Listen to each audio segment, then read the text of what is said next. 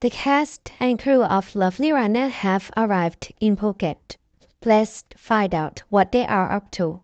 As you can see, they seem to enjoy the sun and the sea. With Taesung who wants to get massage every day while in Thailand.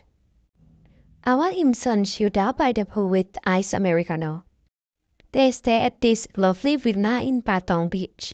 They are having a fun night out.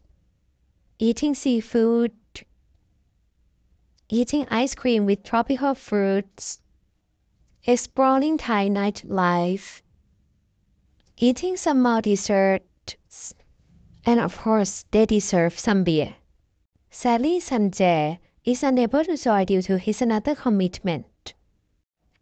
Otherwise, we would see him join the cast and crew in a tank top, looking something like this.